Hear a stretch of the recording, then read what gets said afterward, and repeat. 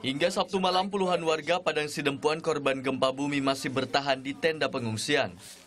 Mereka masih khawatir akan adanya gempa susulan. Selain Padang Sidempuan, gempa berkekuatan 5,5 skala Richter juga melanda Tapanuli Selatan. Bantuan logistik serta dapur umum telah didirikan pemerintah setempat. Gempa 5,5 skala Richter yang melanda Padang Sidempuan dan Tapanuli Selatan Jumat 14 Juli lalu menyebabkan 60 rumah rusak. 25 di antaranya dalam kondisi rusak berat. Pusat gempa berada 9 km barat daya dari Padang Sidempuan dengan kedalaman titik gempa 10 km. Irwan Saputra Nasution melaporkan untuk NET.